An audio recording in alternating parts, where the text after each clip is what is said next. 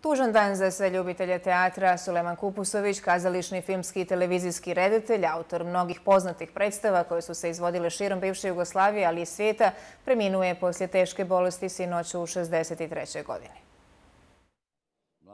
Sulejman Kupusović bio je jedan od najpoznatijih bosansko-hercegovačkih pozorišnih i filmskih režisera. On je svojim stvaralaštvom i kreativnošću obilježio savremenu bosansko-hercegovačku teatarsku historiju. Njegova smrt zatekla je mnoge koji su imali veliku čast raditi s njim. Sulejman Kupusović je veliki prijatelj omladinskog hora koji vodim, a i moj lični veliki prijatelj. On je malo kao i ja, test i čudan čovjek bio.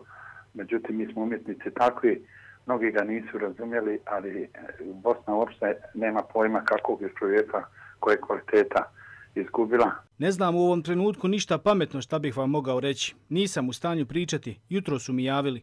Prevelik je ovo gubitak, a eto njegova svjetlana sinoć me je uvela u svečanu ložu Narodnog pozorišta na otvorenje Sarajevo Film Festivala.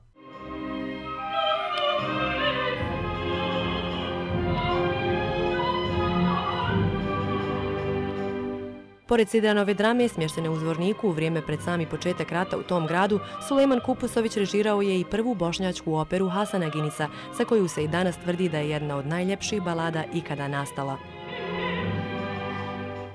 Diplomirao je na Akademiji pozorišne i filmske umjetnosti u Zagrebu 1974. godine, a filozofiju i komparativnu književnost na Zagrebačkom sveučilištu. Pored pozorišnih predstava režirao je i nekoliko TV drama, TV serija, dokumentarnih i muzičkih programa.